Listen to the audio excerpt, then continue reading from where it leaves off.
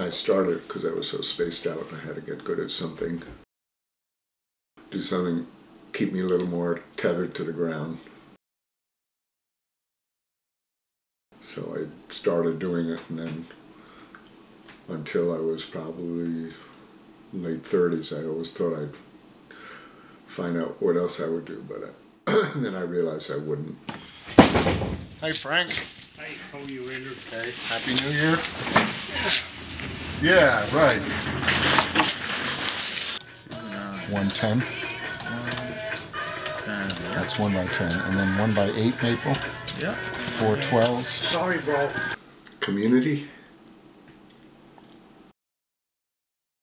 It's a place where there's an exchange, a connection between people, among people, things happening, coming and going, creating, destroying, building up, tearing down. It's where human beings come together and come apart.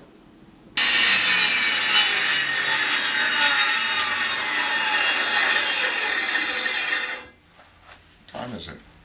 That's where things happen in the world we live in, where we get support, hopefully, not necessarily. How religious am I? I don't subscribe to any religion. Do I think religion is good for the, world? you mean, organized religion? I don't like it, but some people it means a lot.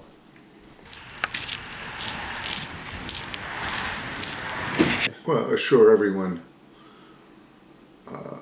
basic uh, health insurance, health care, everybody access to all forms of education.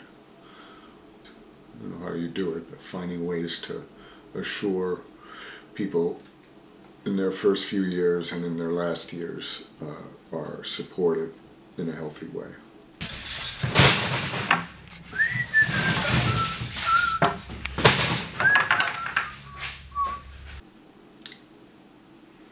I don't know, I've never considered whether it was true or not.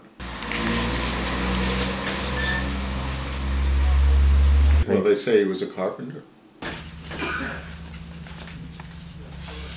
Jesus. Jesus was what? They say he was a carpenter. Is this a trick question?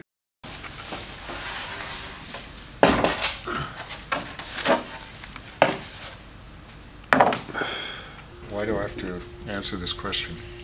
Because I was just trying to ask it. can edit that out. Why do I shop here? Because it's a good lumber yard and it's good guys. They're local.